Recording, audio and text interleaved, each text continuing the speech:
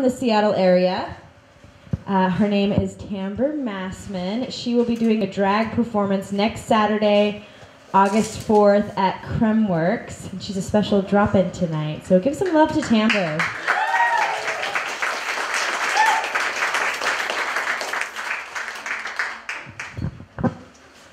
Good evening. Hi, everybody. I traditionally name my outfit. That's part of me. Uh, I call this look, maybe she's born with it, maybe she's a sea witch.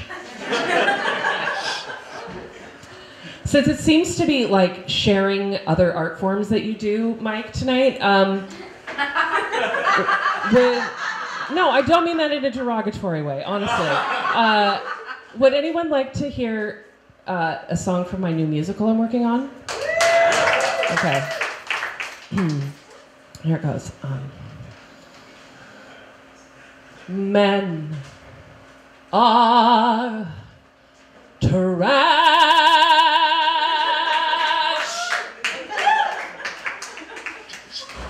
Men are trash. Sometimes I want to kill them all and sell their parts for cash. the musical's called Vampire Feminist. That's why it's so murdery.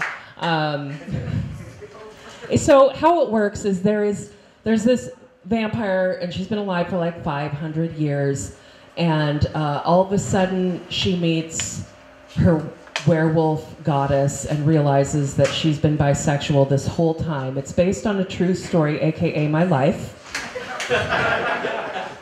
I did not come out until i was 35 years old and i know you're all looking at me going did you not own a mirror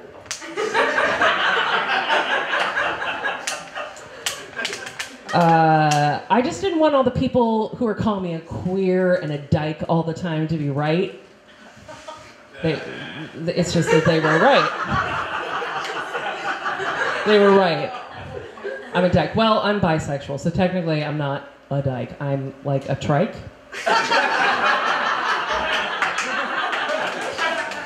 What I know for sure is that the third wheel has a dick on it. It's like.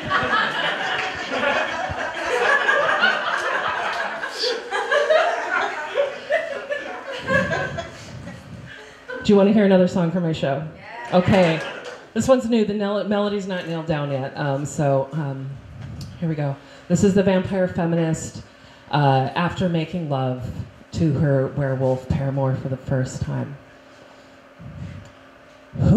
Would have thought after living this long I'd find my new favorite thing?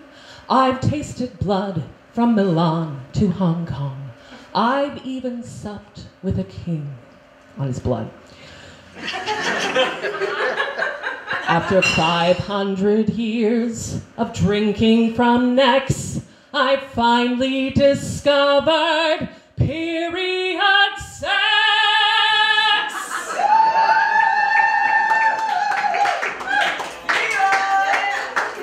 All right, nobody in here, anybody in here not down for period sex?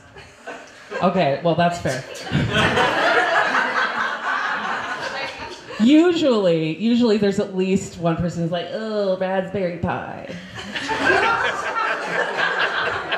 Aw, bro. Do you not want to get a little blood and tissue up on your junk once a month or so? Pussy.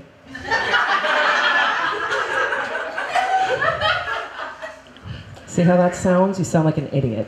Anyway. No, period sex, you gotta get down with the period sex. And I'll tell you why.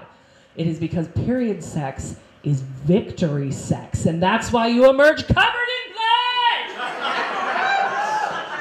You have won the war against babies. You should celebrate. And if any of y'all are the sort of person who likes to come on another person's face but isn't willing to go down on another person when they're on their period, you are a hypocrite because that is all the same thing. It's all wasted baby juice.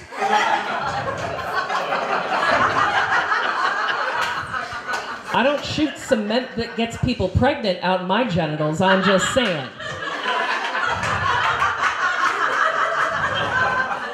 Besides, a penis isn't even the best part of human anatomy to, to please a vulva. It, it's just not. It's not. If it were, it'd have a 30 degree up tilt at the end and a little muscle group that made it go. Eh, eh, eh, Pay attention. This is real shit that I am telling you right now. Fingering is better than sex. I know, I was straight for 35 years.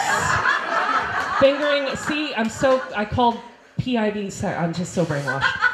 It's not. I know people think I'm going to say in the mouth because I'm queer, and I love the mouth. I mean, oral sex is great, but you know, your mouth is also the hole where you keep your lies. So it loses a couple points. No, I'm talking about the hand. The hand, like I was saying. Here's what you do. This how it works. You insert a couple fingers, depending on you and the vulva involved. Just a couple do that 30 degree up tilt as previously discussed. Clamp down over the clitoral region with the palm of your hand.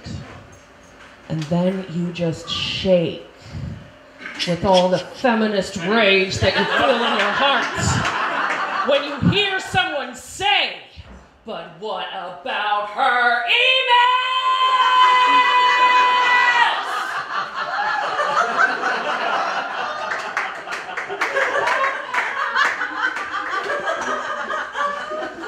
If that doesn't make your partner come, get angrier. I'm Tambre. Have a great night.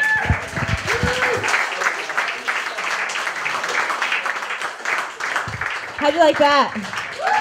Yay! So.